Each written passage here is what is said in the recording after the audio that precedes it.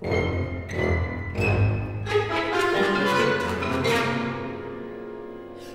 es dunkel und wenn es kalt wird, sei ohne